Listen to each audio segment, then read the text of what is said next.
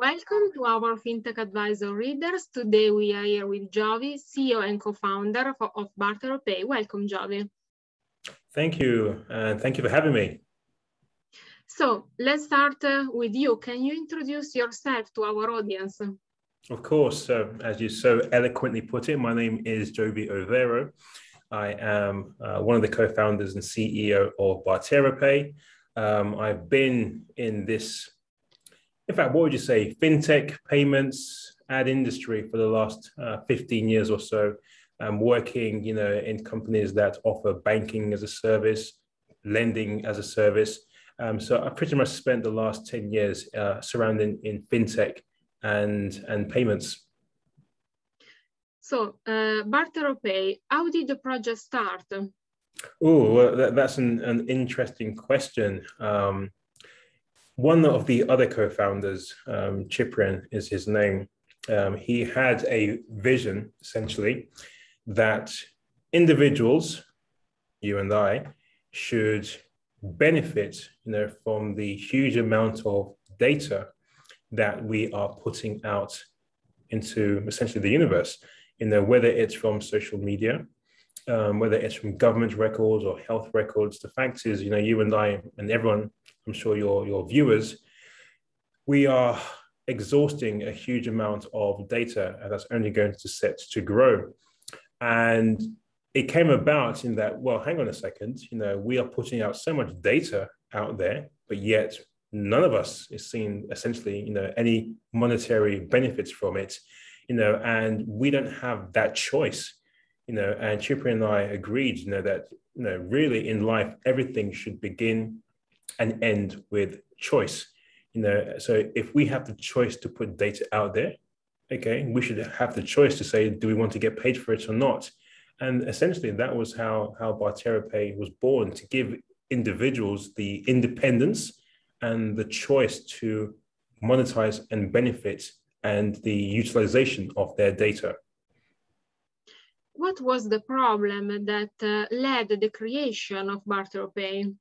Well, again, I, I, touched upon it, you know, in my previous answer, but the, the, the problem we're trying to solve is twofold. Okay, so let me first describe what BarteroPay is. So BarteroPay essentially is a B2C um, and a B2B, you know, lifestyle app. You know, think of it as fintech meets ad tech.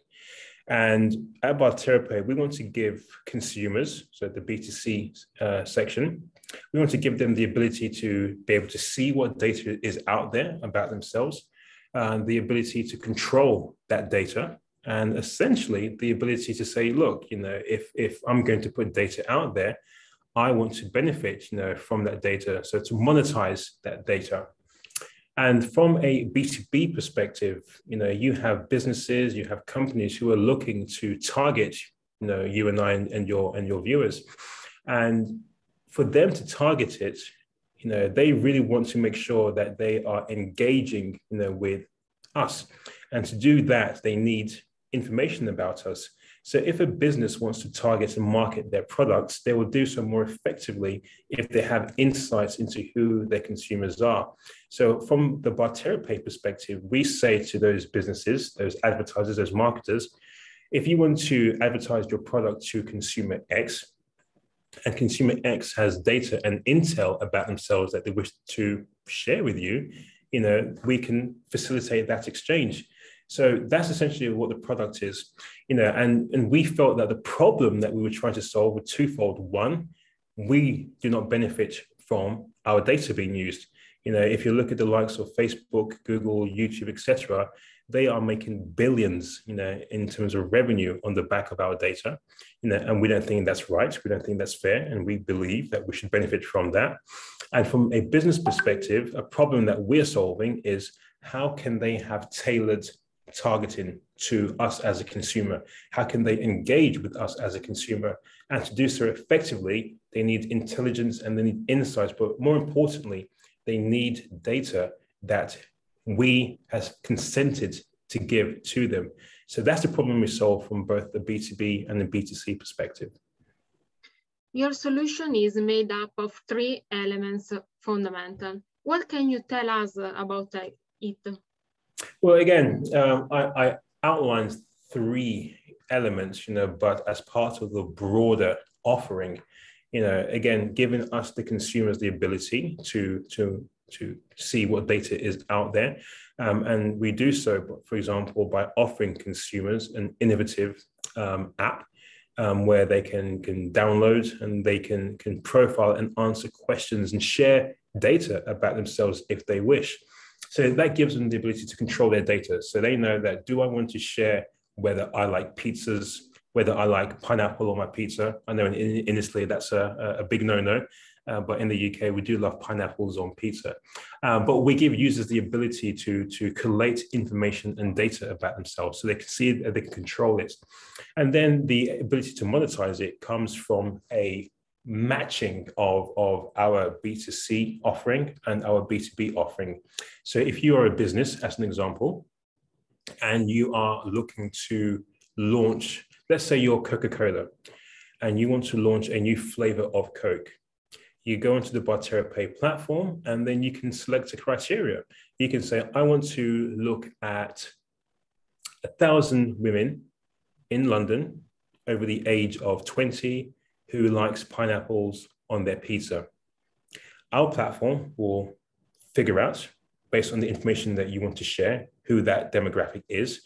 And if you fit that criteria, it will ping you a notification and say, hello, Coca-Cola wants to launch a new product they want to launch a mission. Do you want to participate? So we are giving you the choice. Do you want to share your data with Coke?